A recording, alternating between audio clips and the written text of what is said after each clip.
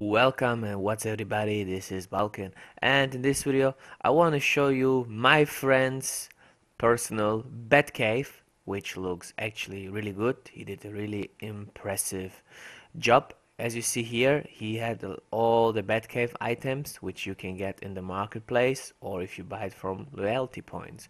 So, as you see here, first, you know, he puts the nice window there which comes with the base item pack.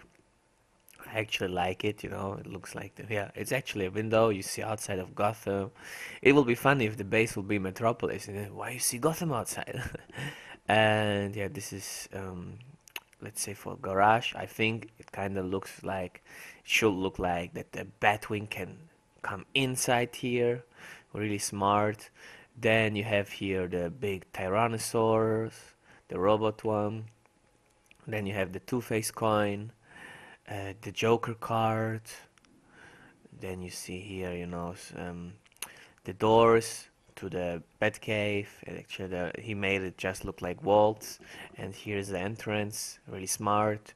Here you see a bat, Batman emblem, some computers, and here's the Batwing. You know, you really make it look smart. Even with other base items, look like it is yeah, construction area kind of thingy with the Batwing and here's also his Batcomputer plays really impressive. My friend's name by the way is lestat eups he's in the league onyx. And yeah. Yeah it looks quite impressive. And this is one of my favorite parts when you get in here. See there are some Batcomputers. And there is the batmobile. He really made it look good with the garage you see. I mean really impressive job. I mean really tried to put a lot of detail in so I say this guy is one of the guys I'm always impressed of his base.